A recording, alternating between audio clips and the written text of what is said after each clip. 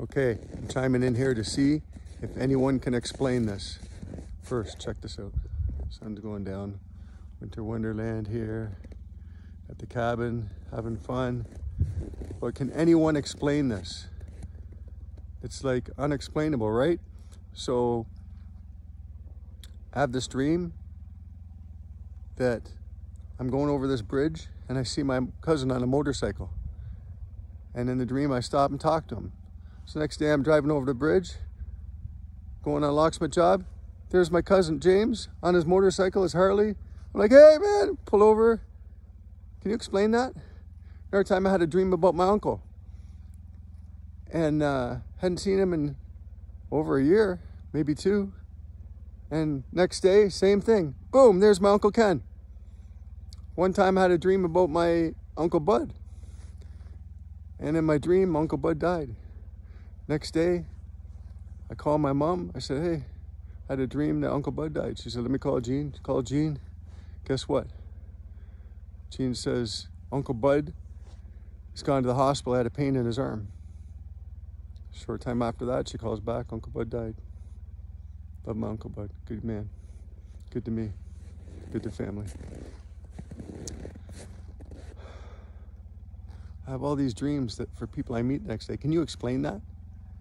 If a man can see into the future about something that hasn't happened, like I even have dreams about people I don't even know and I meet them and I know all kinds of things about them. I had this dream one time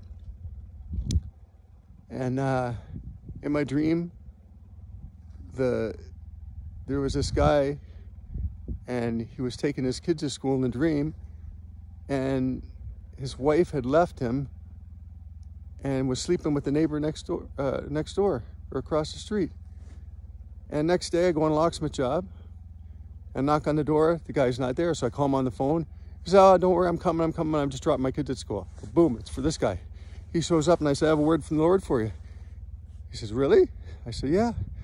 The Lord told me in a vision, in a dream, that your wife left you and she was sleeping with the neighbor.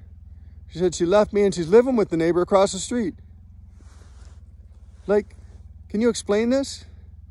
Because the only explanation I can come up with is there is a God and he knows all things and he knows the future. Because if a man can see into the future, there must be destiny. And if there's destiny, there has to be a God. That's the only explanation I can come up with. And then I used to think Christians are crazy because they say the weirdest things and things they say don't make sense.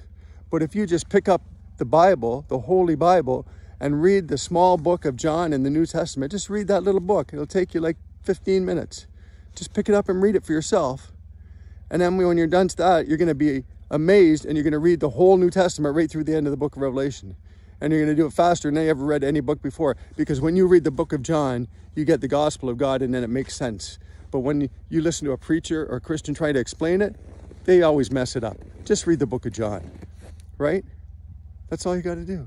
And then once you finish reading the book of the book, the problem Christians have is they don't even read the New Testament and they go to a church and his pastor tells them something and they believe it. If you just sit down and read the Bible for yourself, you're not going to get deceived. So, hey, and the same guy that has dreams about people, I'm telling you, we're in the end times. Get your life right with the Lord and uh, repent and serve the Lord Jesus Christ for we're living in the end times. God bless.